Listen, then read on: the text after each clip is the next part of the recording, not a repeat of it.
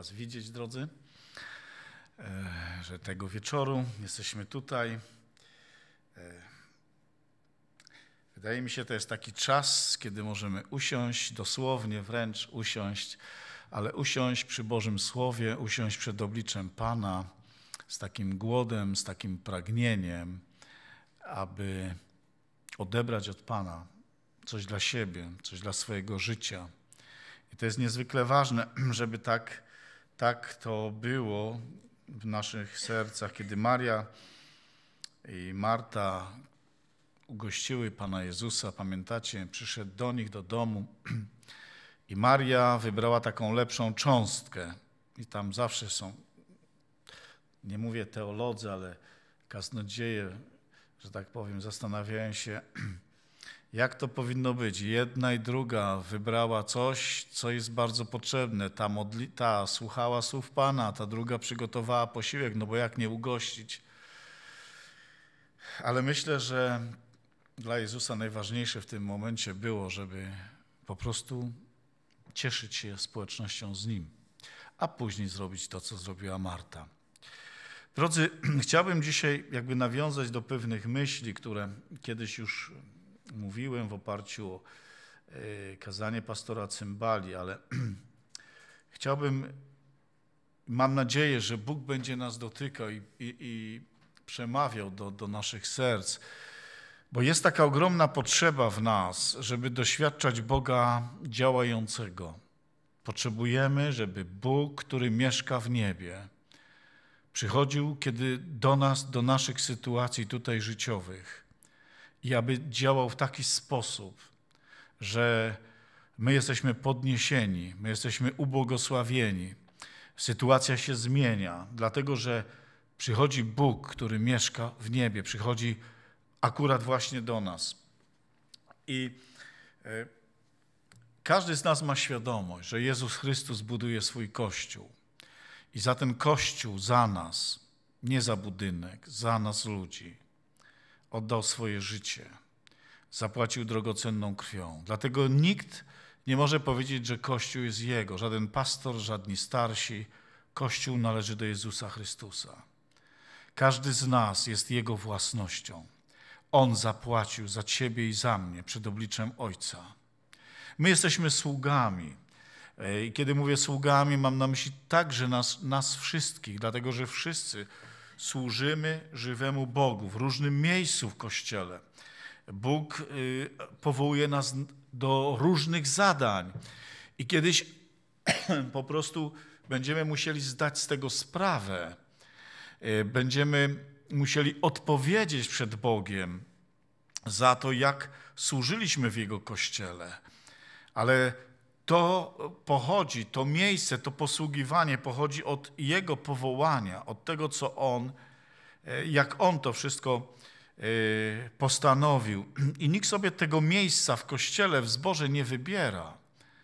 E, tak jak w Starym Przymierzu, tak i w Nowym Przymierzu. Bóg umieszcza nas, członki ciała, w określonym miejscu.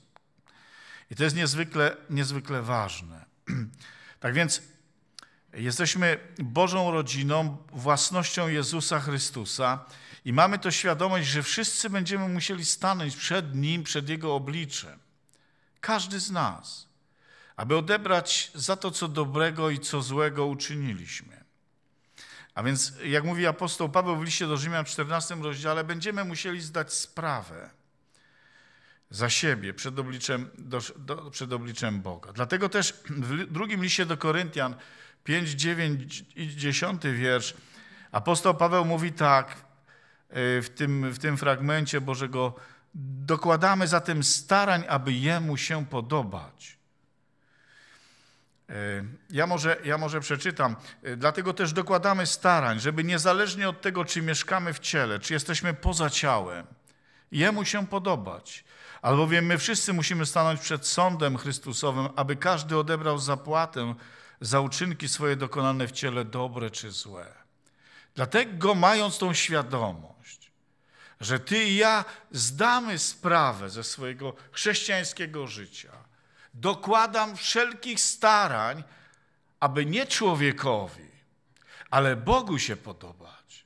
Wiecie, kiedy staramy się przypodobać ludziom, wpadamy w pułapkę, bo nigdy ludzi nie zadowolimy.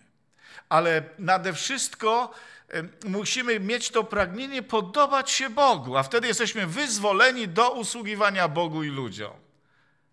Nie zawsze ludziom będzie się to podobało, ale jeżeli jesteśmy w woli Bożej, to jesteśmy we właściwym miejscu i będziemy mogli usługiwać we właściwy sposób. Drodzy, dzisiaj chcę mówić, że potrzebujemy coś od Boga dla swojego życia, dla zboru. Potrzebujemy Bożego działania w taki sposób, aby życie moje, Twoje, kościoła, miasta doznawało przemiany. Jak może się to wydarzyć? W Ewangelii Łukasza i nie tylko w tej Ewangelii, bo i w Ewangelii Mateusza, ale będę czytał z Ewangelii Łukasza z 19 rozdziału. Pamiętacie, kiedy Jezus wchodzi do świątyni, tuż e, przed tym, zanim zostanie ukrzyżowany. 45 wiersz mówi tak. Potem wszedł do świątyni i zaczął z niej wyrzucać sprzedawców. Mówili, mówił do nich, napisano jest, mój dom będzie domem modlitwy. Mój dom będzie domem modlitwy. Możemy wyraźnie zaznaczyć, czy zobaczyć, drodzy, i chciałbym o tym przypomnieć dzisiaj każdemu z nas, że jak, jak wielka waga, jak wielkie znaczenie Bóg, Jezus przykłada do modlitwy.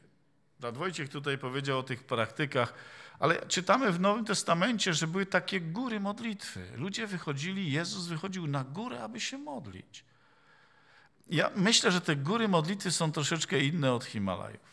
To nie są niebezpieczne góry. To są takie góry, na które każdy może wejść, i dziecko, i starzec, aby się modlić, aby szukać Bożego oblicza. Oto jest niezwykle ważne, bo Pan mówi, że Jego dom, Jego kościół, Jego świątynia, którą my jesteśmy, jest świątynią, jest domem modlitwy. Jeżeli nie przykładamy uwagi do tego, co On mówi, jeżeli sami nie mamy takiego czasu osobistego w swoim domu, gdzie zamykasz swój pokój, albo idziesz gdzieś na spacer, aby być przed obliczem Pana, aby doświadczyć Boga, który jest w niebie, abyś go odczuwał tam, idąc na spacerze, abyś doświadczał Jego mocy, Jego podniesienia, zachęty i pocieszenia, ale także kiedy zgromadzamy się, kiedy Kościół się zgromadza, jesteśmy domem modlitwy. Zwracałem uwagę wielokrotnie, jak ważne jest, żebyśmy uwielbiali Boga i wyrażali to przez podnoszenie rąk, tak jak mówi Boże Słowo, oklaski, e, e, okrzyki, e, zawołania, śpiew i tak dalej.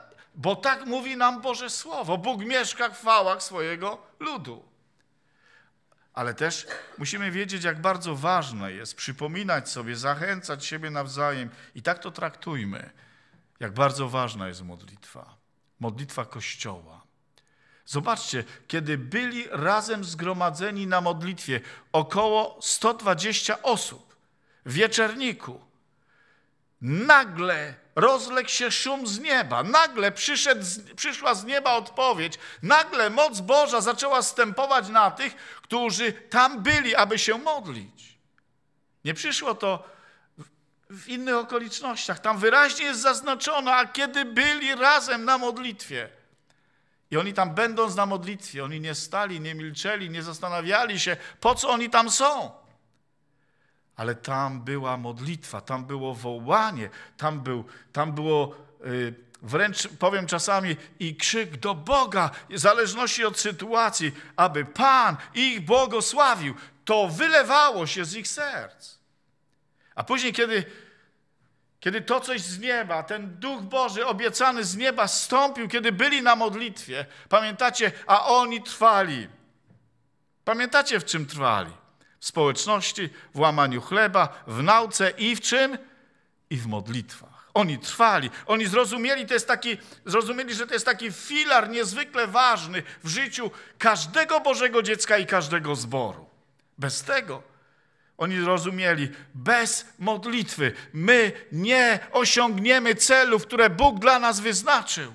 Bez modlitwy będziemy, y, nie będziemy słyszeć, co Bóg chce uczynić i co będzie do nas mówił.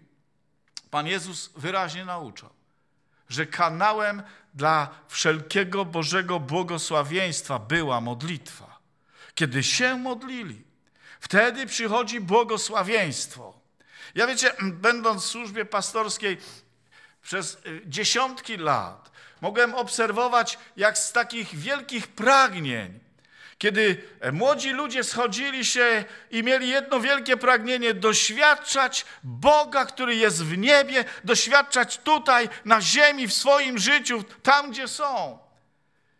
I modlili się i rozważali Słowo Boże i modlili się i Bóg działał i Bóg odpowiadał i Bóg zaspokajał ich pragnienia. A później zauważyłem z czasem, że coraz więcej to był taki dobrze spędzany czas.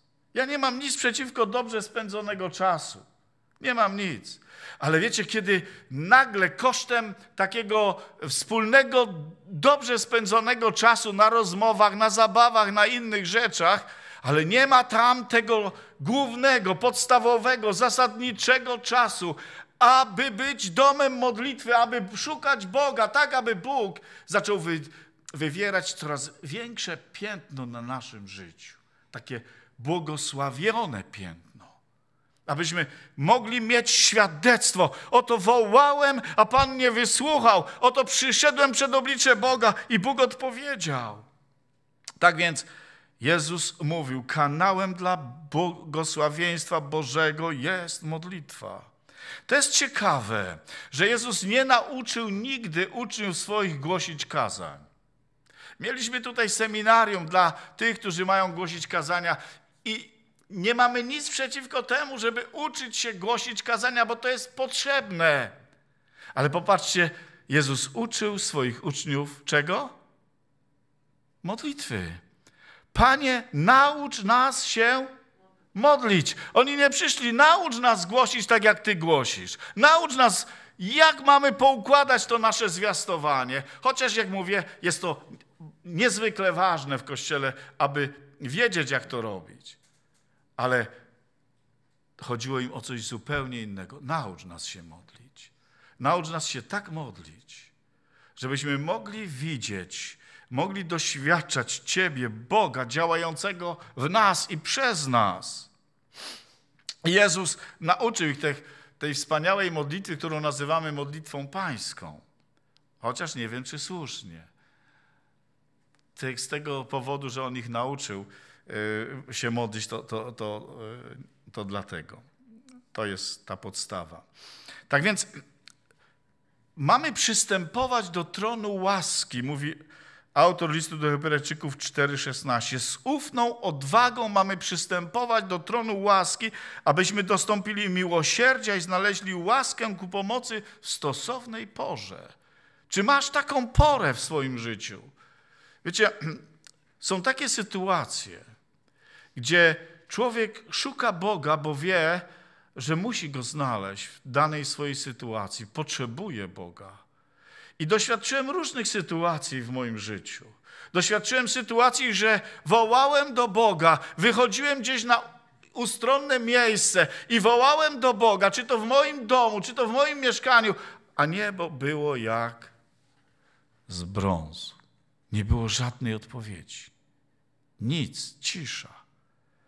Ale były też sytuacje, kiedy wołałem do Boga, a przychodziła z nieba moc i Bóg podnosił. Bo Bóg wie dokładnie, kiedy co nam dać, jaki sposób nam dać. I czasami wstaję w nocy i siadam i zaczynam się modlić i wołać do Boga. I przychodzi pokój, i przychodzi odpowiedź, i przychodzi posilenie.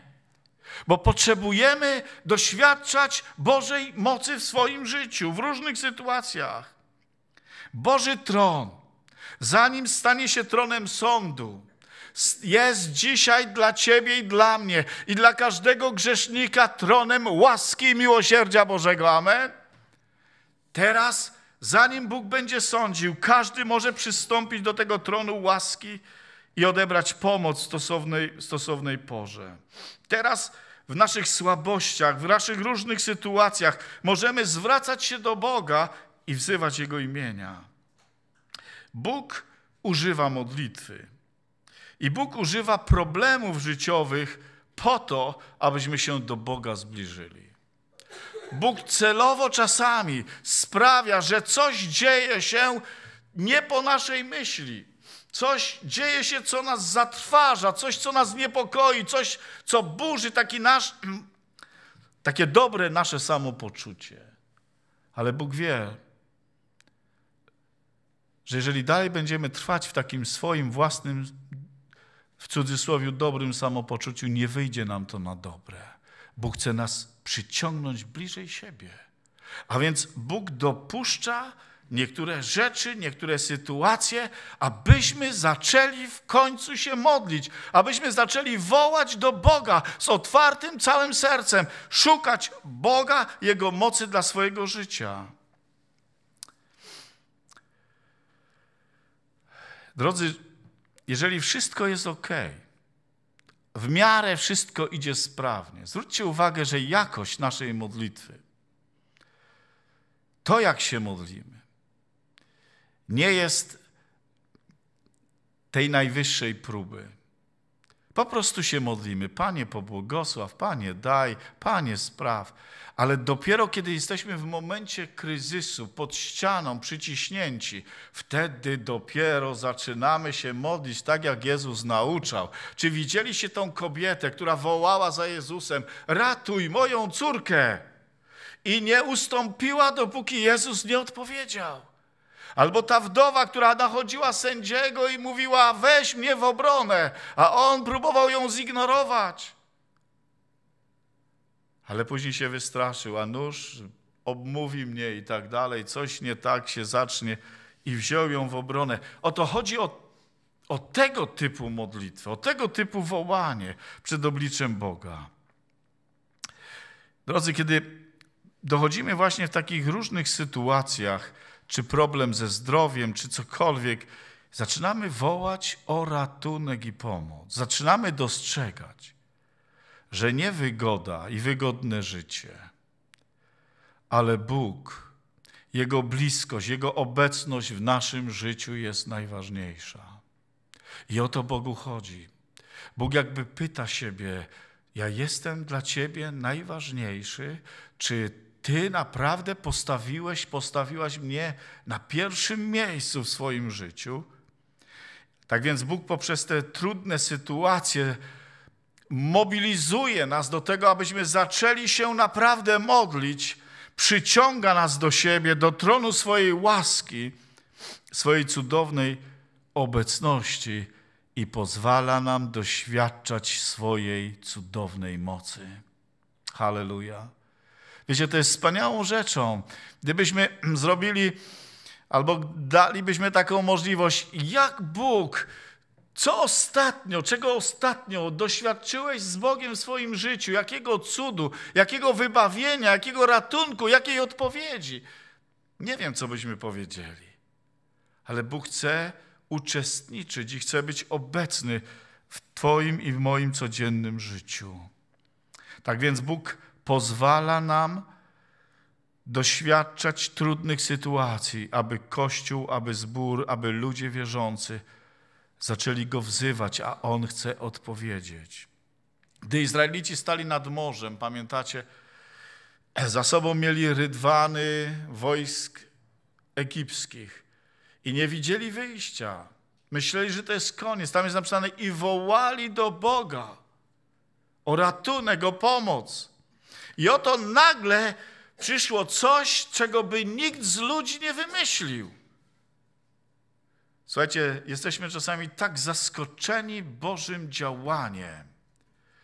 Oto wyciągnij laskę nad morze i Mojżesz wyciąga laskę. Co ma laska do morza, a jednak Bóg ma niesamowitą inwencję.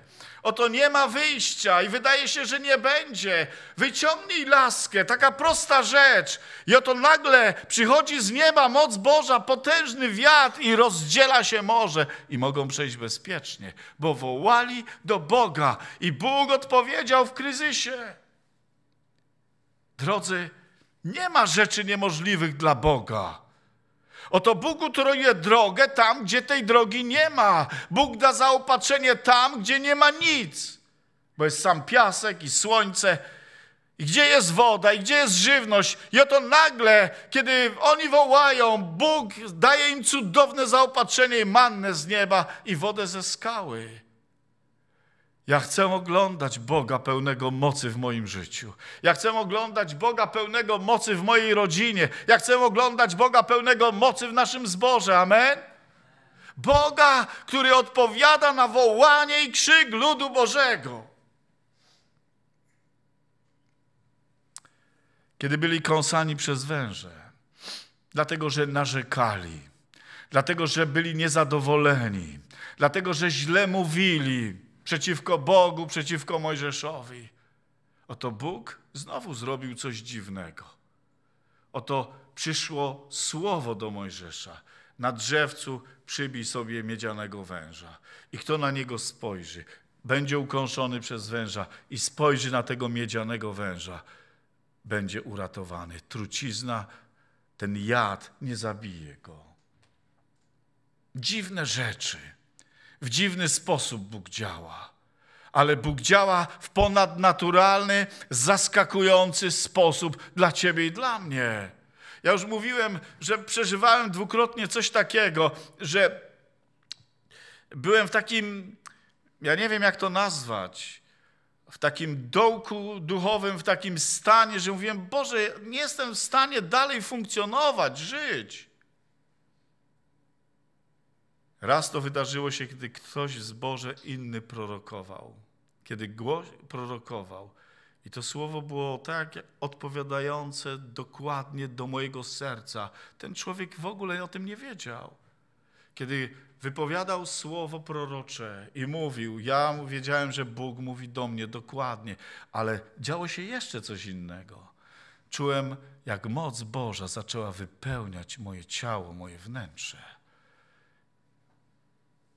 I wiecie, nagle cały ten stan takiego, takiej, ja wiem, uczucia e, beznadziejności, takiego, nagle to wszystko prysło, bo Bóg odpowiedział i wiedział doskonale, czego jego dziecko potrzebuje. A więc gdy byli ukąszeni przez węża, gdy spojrzeli z wiarą, bo Bóg dał im wyjście, byli uratowani. Gdy Midianici pustoszyli kraj, Wołali do Pana Izraelici i Bóg odpowiedział. I w dziwny sposób ich wybawił przez Gedeona i 300 ludzi. Bóg zawsze znajdzie wyjście i rozwiązanie. Amen. Powiedz sam sobie, Bóg zawsze znajdzie wyjście w mojej sytuacji. Kiedy przedłożę mu sprawę, kiedy będę wołał do niego całym sercem, aby być przy nim, i on wie, że mi zależy, aby być przy nim, on da rozwiązanie. Amen? Da. Moi drodzy, myślę, że wszyscy o tym powinniśmy wiedzieć, że jest czas, najwyższy czas, aby Kościół wierzący zaczęli wołać intensywniej do Boga niż do tej pory. Ratunek dla siebie, dla swoich bliskich i tak dalej.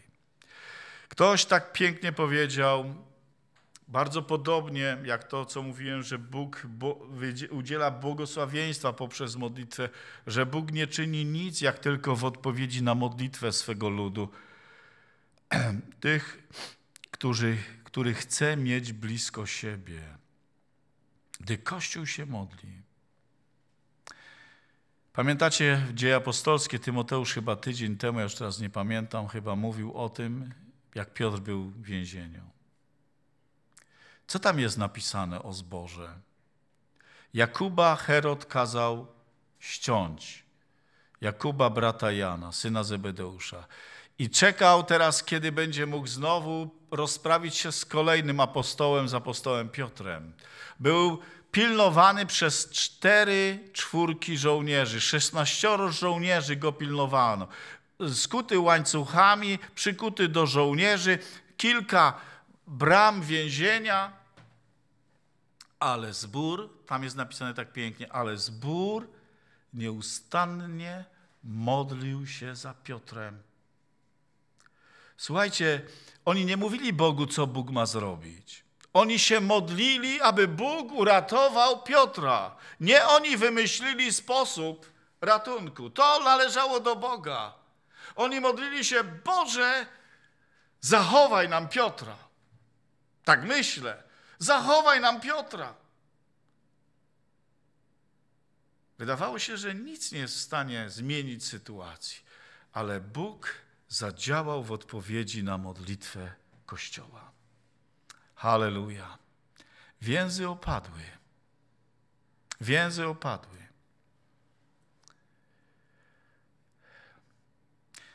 Drodzy, ten człowiek, który, który tam był, Piotr, nie spodziewał się tego. Ja w ogóle podziwiam Piotra, że przed egzekucją sobie spał. Ja bym przed egzekucją chyba nie mógł spać. Ja bym, nie wiem, rozmyślał, zastanawiał się, może bym całe swoje życie prześwietlał. A on spał. Jego serce, jego sumienie było czyste. On wiedział, że jest w ręku Boga. Czy żyjemy, czy umieramy, jesteśmy pańscy. Piotr mówi: Ja jestem w Bożym ręku, nie mogę być w lepszym ręku niż jestem. I tak naprawdę zastanawiamy się, kto do kogo był przykuty. Czy Piotr do nich, czy oni do niego. On był bezpieczny. To jest to niesamowite, ta niesamowita świadomość, że nic nie może ci się stać, kiedy należysz do Pana, że nawet jeśli zabiorą ci życie, to nic więcej już nie mogą zrobić. Tak mówił Jezus. Nie bójcie się tych, którzy zabijają ciało. Bójcie się tego, który może duszę zatracić w piekle. Tego się bójcie. Ale nie bójcie się ludzi. Oto z góry, z nieba od Pana przyszła pomoc, kiedy Kościół się modlił. Moi drodzy, kiedy musimy pilnować swojego życia, swojego serca, być szczerymi przed Bogiem, nie prowadźmy podwójnego życia. Bądźmy tymi, którzy szczerze przylgnęli do Pana, do Bożego Słowa. A więc kiedy się modlili, Bóg odpowiedział. Słuchajcie, tego nikt nie może z ludzi uczynić. To czyni Bóg. To jest Jego dzieło. To są niesamowite Boże dzieła. Od samego bezpośrednio Boga. Oto zjawił się anioł i światłość rozświetliła cele. Ja nie wiem, ci strażnicy mieli tak za, zaaplikowane środki nasenne od anioła. Oni spali twardo. Zawsze, kiedy Bóg przychodzi, On jest światłością. Tam, gdzie jest mrok i ciemność w naszym życiu, gdzie może pojawić się strach, oto przychodzi Bóg ze swoim światłem, ze swoim pokojem i przemawia. I właściwie to jest piękna ta, piękna ta historia. Ten anioł musi tego Piotra ruszyć i mówi: obudź się. I wypuszcza go na wolność. I kiedy udał się do domu Marii, matki Jana, którego nazywano Markiem, gdzie było wielu zgromadzonych na modlitwie, pamiętacie, oni nie mogli uwierzyć. Oni nie mogli uwierzyć, że to stało się faktem, ale stało się dlatego, że Kościół modlił się nieustannie. Czasami będzie tak, Jakub został ścięty, oddał życie. Ale kiedy Kościół się modli, może się stać tak, jak stało się w życiu Piotra. Oto Piotr został wyprowadzony na wolność. Tak więc, gdy wołamy do Boga, aby uczynił coś, coś nowego, co pochodzi od Niego, powinniśmy być gotowi na zmiany w naszym życiu, że oto Bóg wkroczy i Bóg zacznie działać i Bóg będzie odpowiadał na naszą, na naszą modlitwę. Powiem tak, z jednej strony grzesznik może pokutować, każdy z nas, bo gdyby nie mógł, Bóg by, Bóg by nie wzywał ciebie i mnie, upamiętajcie się, nawróćcie się, uwierzcie. Każdy człowiek jest zdolny do tego, aby pokutować. Każdy. Jedynie opór serca, bunt powstrzymuje człowieka przed tym, aby pojednać się z Bogiem. To jest decyzja każdego z nas. Gdyby tak nie było, to znaczy, że Bóg nie mógłby oczekiwać od nas upamiętania i nie wzywałby nas, upamiętajcie się. Ale ty i ja, każdy grzesznik ma tą możliwość opamiętania się. Dlaczego tak trudno? Dlatego, że grzech zaślepia umysły. I także szatan zaślepia umysły niewierzących. Dlatego potrzebujemy coś z nieba, coś od Boga, działania Ducha Świętego, aby On przyszedł i swoją obecnością rozświetlił ciemność w Twoim i w moim sercu, abym zobaczył to zepsucie i grzech. I wtedy widzę, przecież nie jest tak dobrze ze mną, jak myślałem. To jest łaska i, ten, I Duch Święty został wylany na wszelkie ciało, aby każdy człowiek mógł być dotknięty i mógł zobaczyć. Bóg jakby przychodzi nam z pomocą w tym, abyśmy mogli pokutować. Czy możemy zatrzymać to działanie Ducha Świętego? Odeprzeć, czy nie? Jak myślicie? Zastanawiacie się. Możemy, oczywiście, że możemy. Człowiek może sprzeciwiać się Duchowi Świętemu. Paweł tak pisał do, do tych, którym głosił w Rzymie, wy zawsze sprzeciwiacie się Duchowi Świętemu. Bóg do was mówił, posyłał proroków, posyłał słowo, a wy ciągle dawaliście odpór. Ale kiedy Kościół się modli, bo to jest to, że ty i ja mówimy, mówimy, mówimy, świadczymy, ale potrzebujemy obecności Ducha, działania Ducha Świętego, aby Duch Święty ze swoją miłością przyszedł do tego człowieka, do tej sytuacji, rozświetlił i aby człowiek mógł podjąć decyzję. To jest ta pomoc, ta łaska ze strony Boga. Zobaczcie na Saula Starsu. Saul Stars był pełen złej gorliwości dla Boga. Jest dobra gorliwość i zła w takim razie. Paweł w liście do Rzymian mówi, mają gorliwość do Żydów, ale nierozsądną. Wiecie, ludzie robią wiele rzeczy dla Boga, ale w sposób nierozsądny, co Bogu się nie podoba. Im się wydaje, że służą Bogu, a okazuje się, że robią wręcz odwrotnie, przeciwko Bogu. Nie tak, jak Bóg nakazał w swoim słowie. Saul dyszał groźbą, nienawiścią do chrześcijan, do imienia Jezus. Mordował, zmuszał do bluźnierstw, brał i zamykał w więzieniu i znowu, kiedy jechał do Damaszku, pełen nienawiści, chęci mordu wszystkich w Damaszku chrześcijan, oto nagle światłość z nieba stąpiła. Oto sam Jezus przyszedł. Oto przyszło coś z nieba do życia Pawła i spadł z tego swojego konia, oślepiony tym blaskiem. Przestał widzieć przez trzy dni i miał czas, aby podjąć decyzję komu będzie służył.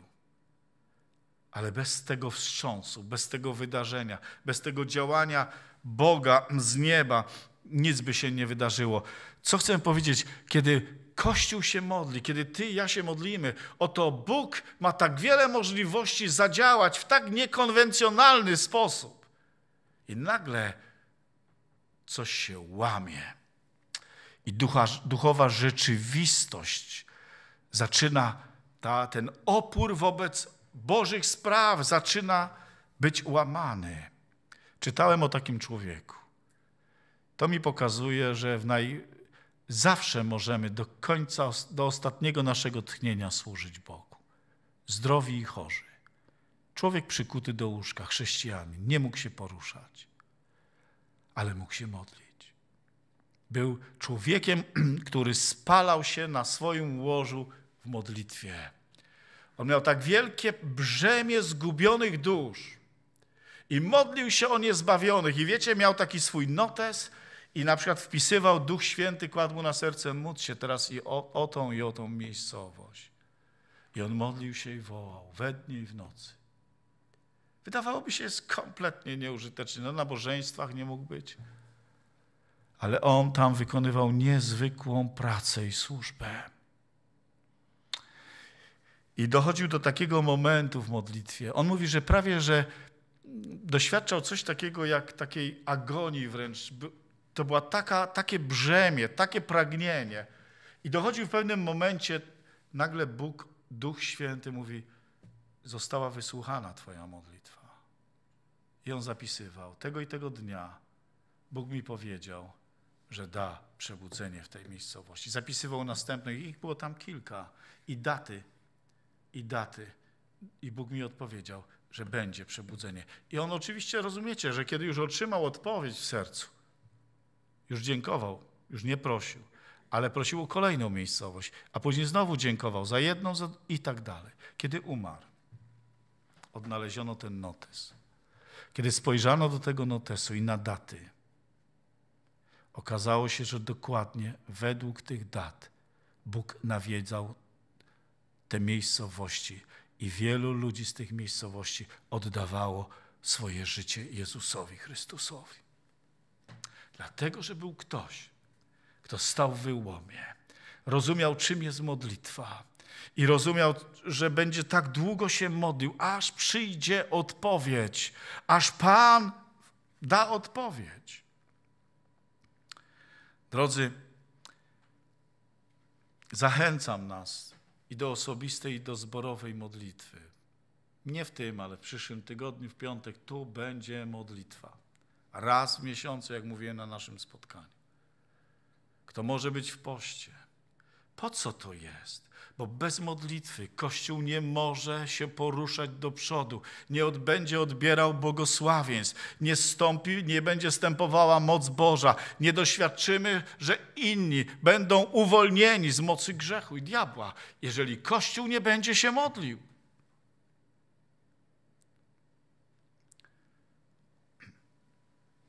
Tak długo, aż przyjdzie z nieba odpowiedź.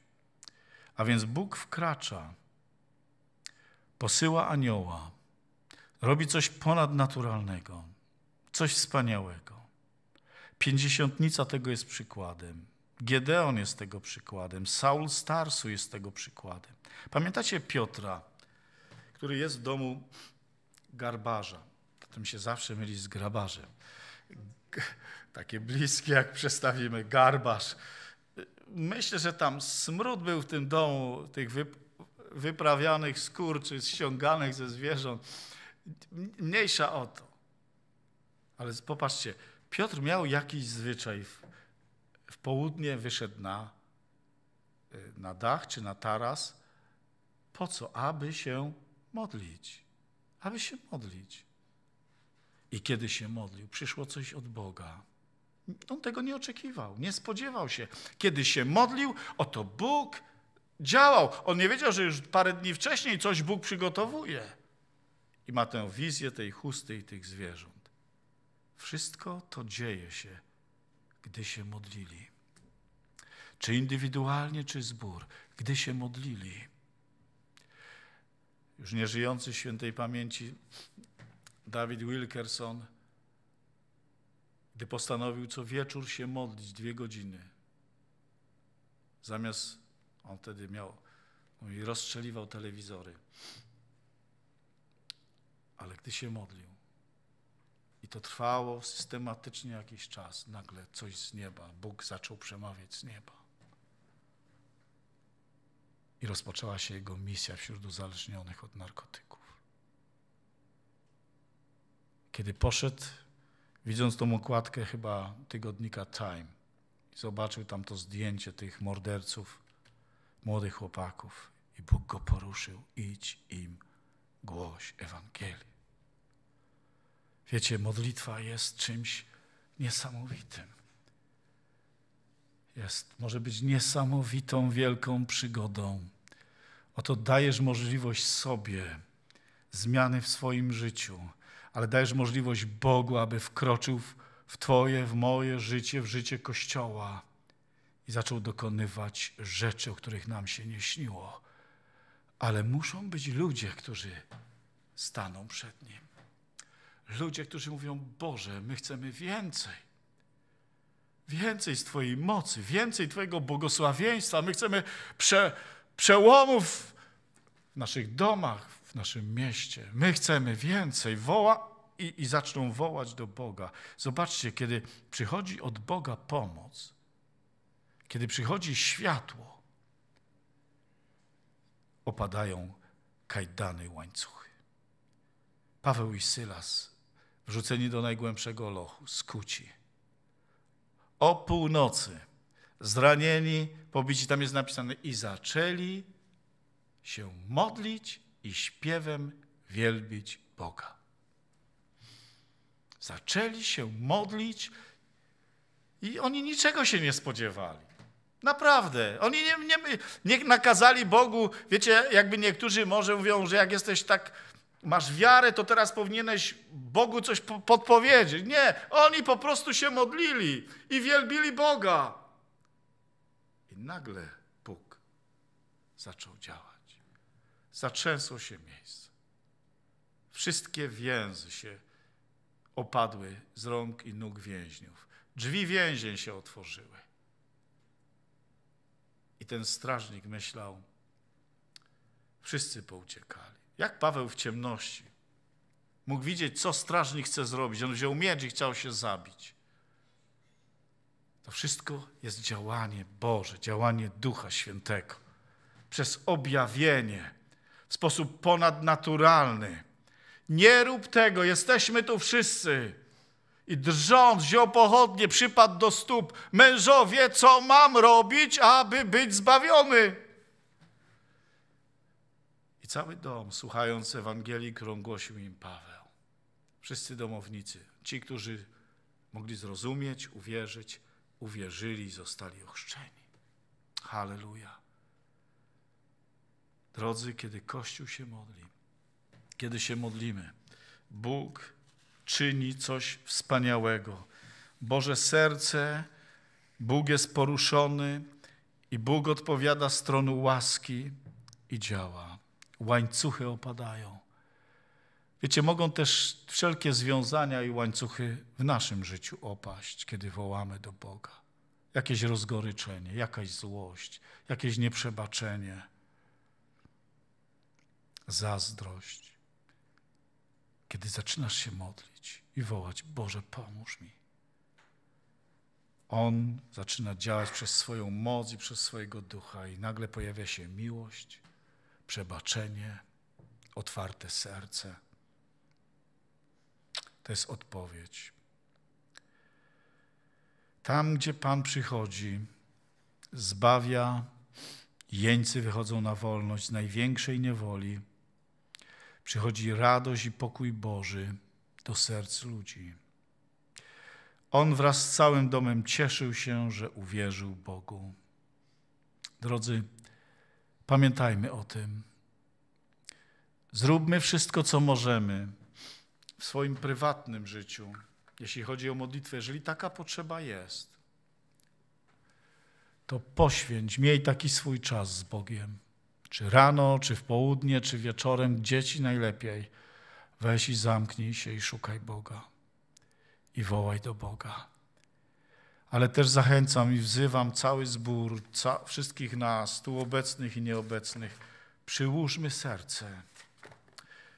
Jeśli tylko możemy, zostawmy wszystko, aby być przed obliczem Pana aby skłonić kolana, podnieść ręce i wołać, aby Bóg odpowiedział, aby przyszło, przyszła od Boga pomoc i błogosławieństwo.